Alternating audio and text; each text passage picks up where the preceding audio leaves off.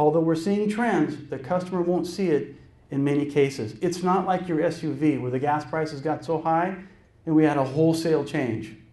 It's not quite the same equivalent. There is some silver out there, some silver lining. Some of the stats that I've read 11%, eh, they're willing to migrate to a greener handset. And 30% are somewhat likely.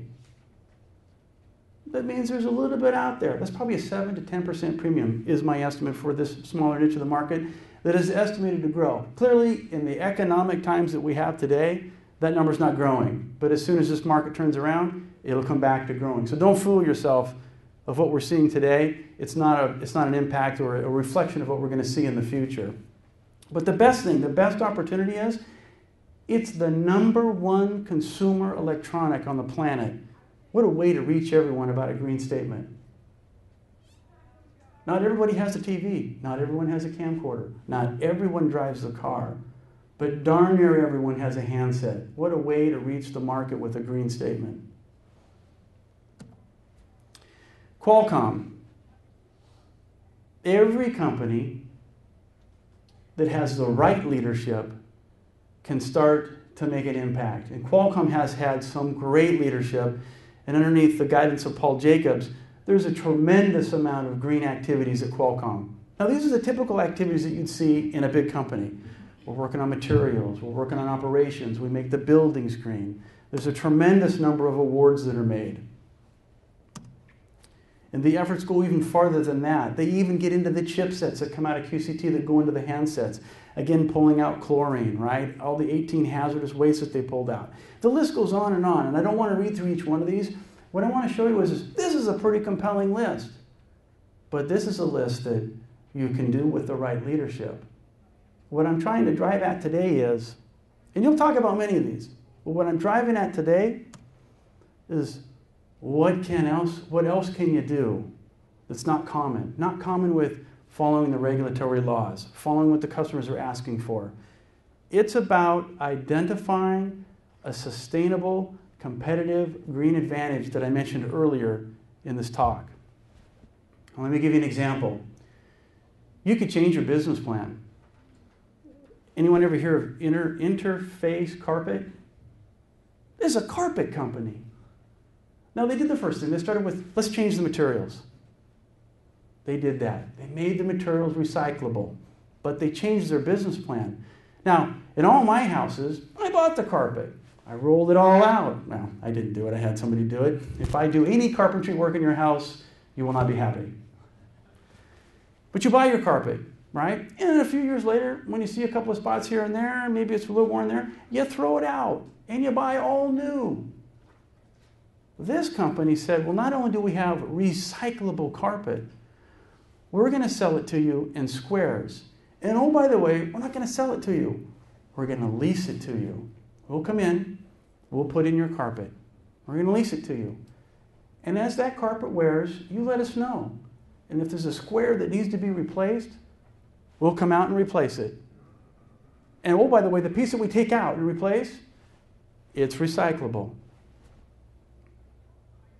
Now, when you hear that, it's like, yeah, that's pretty compelling. Go one step further. I bet, I didn't check, but I bet they filed some IP on how to work those edges and those seams, right? Now, this is starting to talk about, starting to sound like a sustainable competitive advantage, and that's just with carpet. Another way is different technologies, technologies that are actually disruptive. And I'll give you an example of one today. It's, it's one that Qualcomm's working on, and it's one that actually leverages what we see in nature. Biomimetics is the practice of copying what you see in nature, adapting it to modern technology. And we've seen that with ships. The hulls of ships, they've actually used shark skins to reduce the, the drag on the, on the surface of the ships. We've seen it in airplanes where they've, they've actually mimicked the wings of birds to give it less drag or actually more lift and better fuel economy. The same thing Qualcomm is doing with a display technology called Mirasol. Its technical term is an IMOD, an interferometric modulator.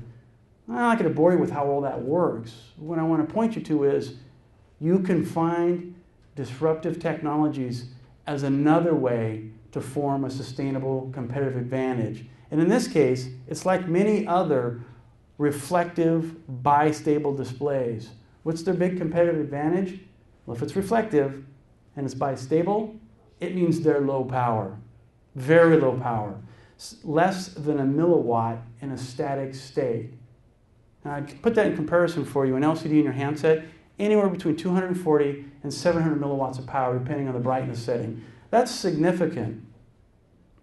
It's one tenth or one one hundredth. Now, if I don't give you the rest of these data points, you'll probably think, ah, what does that really mean to me? Well, let's see now. We have a 33% less energy consumed on your handset. That's a system, right? It's not just the display itself. You have to look at what's the system gain, because there's lots of competing energy consuming components in a handset. It's 33%. It gives you 51% more lifetime in usage. The result is it's 58 fewer charges per year and extensions of 1.25 year on the life of your lithium ion battery. Remember, you can only charge and decharge so many times before the battery becomes unusable. If you follow the whole footprint of the energy, the reduction of energy, it's a 94% less carbon emission. And oh, by the way, that 33% extension, if every handset used it, it would be 12,000 fewer tons of lithium ion batteries that go into a landfill each year. And it's $12 billion in savings to us in this room on buying an extra battery.